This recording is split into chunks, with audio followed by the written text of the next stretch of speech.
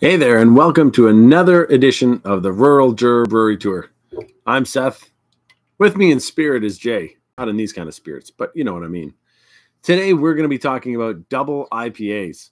So, right now, it's the perfect weather to be having dark beers, stouts, porters, browns, ambers, all that great stuff. I've been enjoying quite a few of them, but I wanted to point out a couple of great beers that are in the LCBO right now that are double IPAs. And these are just excellent beers, perfect for this time of year as well. We've got the West Coast Swing from Left Field Brewery and the Hopsters Double IPA from Bench. Two excellent breweries. Today, since they're double IPAs and I'm running solo, I'm just going to be having the Left Field. This one comes in at 7.2% alcohol. This one, the West Coast Swing, I have never had this one. I'm assuming from left field that there this is going to be an excellent IPA. They always make some really great beers. The other thing that I like about left field is that they have small cans. And so since it's just me, a strong beer in a small can, just one guy, perfect for this kind of night. Yeah. So I'm ex- I'm assuming that since it's a West Coast swing, this is going to be a West Coast style IPA. So very bitter, very hoppy, uh, piney, resiny, that kind of thing. It certainly pours with a little bit of cloud in there, lots of suspensions in there, nice white head, a little bit yellow, tiny bit of orange hue to it, not very much. The head is sticking around, and the nose is super juicy, actually, which is interesting.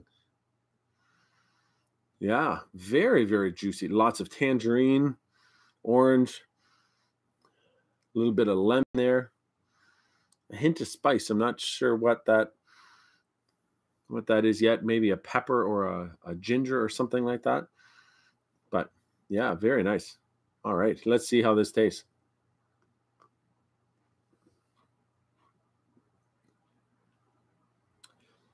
The bitterness is certainly there.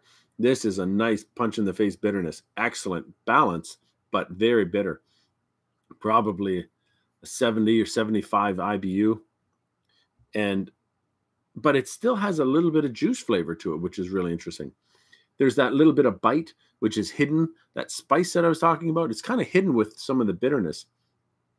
But it comes through as a, a, a very almost like a ginger or a, a slight heat, like a, a white pepper almost idea in the very back of the throat.